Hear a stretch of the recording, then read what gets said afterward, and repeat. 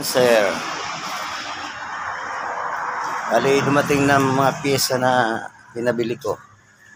So, i-check ko muna ito isa-isa kung parehas.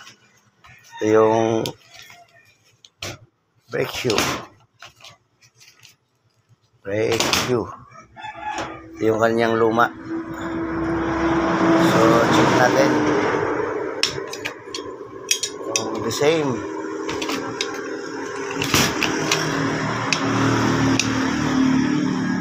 Ah, okay. Yung lapad niya.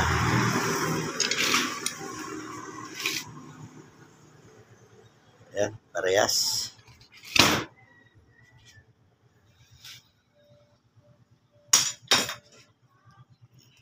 Fuel cylinder. Yung dati. Check natin.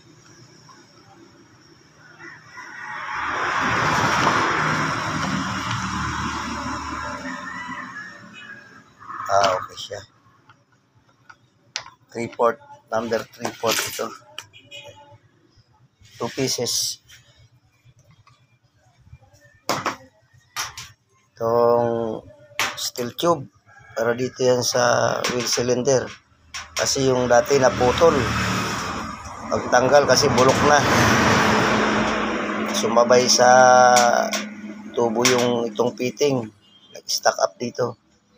Kasi kinalawang na eh, bulok na eh. So, napilipit.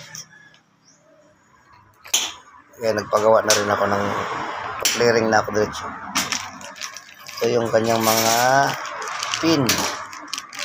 Brake shoe pin. With spring and washer, lock washer. Pin lock. Check naman natin itong ito pala yung luma na napilipit. Na luma na tubo. Check it. Next is handbrake.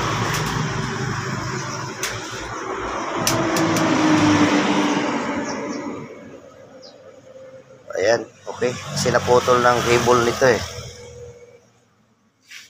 So, may mga bracket. Tatanggalin ko lang itong mga bracket niya.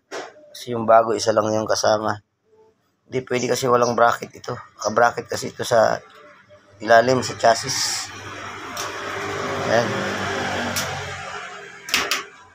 Bali dalawa ito na handbrake cable.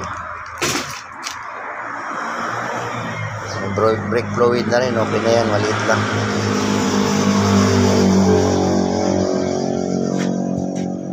So, mainit pa. Mainit na yung panahon. Bali. Maya maya, wala na itong init. Mag-aala- Mag-aalas stress na. So, unahin ko muna itong kabit ko muna dito sa kanyang wheel cylinder. Okay, let's do it. Thanks for watching.